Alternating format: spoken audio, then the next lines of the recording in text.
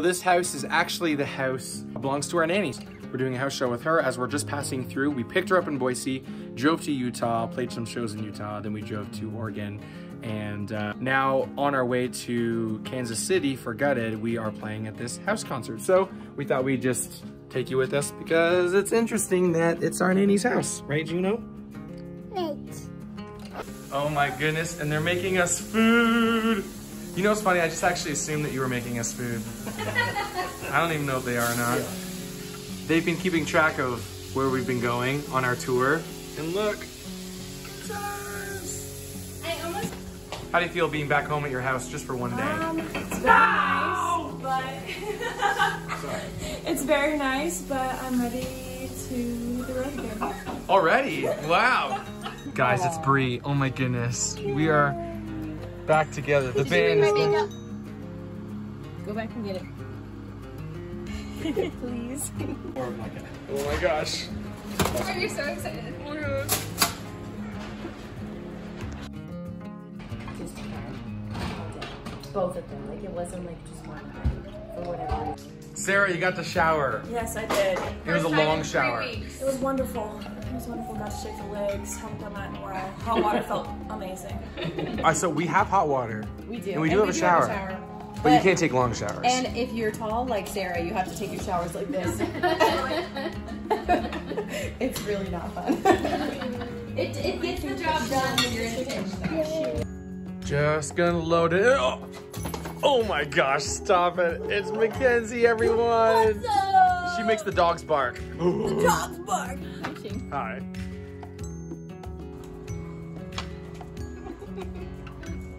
Oh, you too? Okay. Let's go.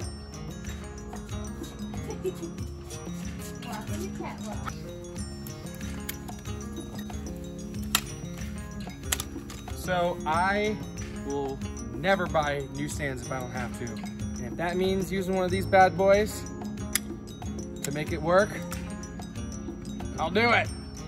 Where are my musicians out there? Do you understand? Sawyer, do you get that? Can you relate?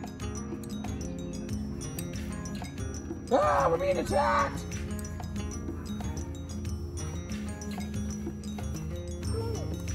Good job, Sawyer. Nana.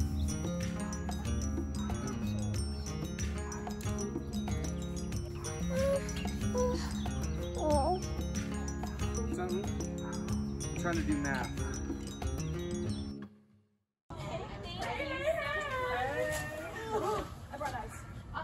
Um, also, for those with kids, I don't say a whole lot of kids, just be aware this is uh, our favorite places. I mean, not necessarily Kuna because we have only been here one other time, but the Boise.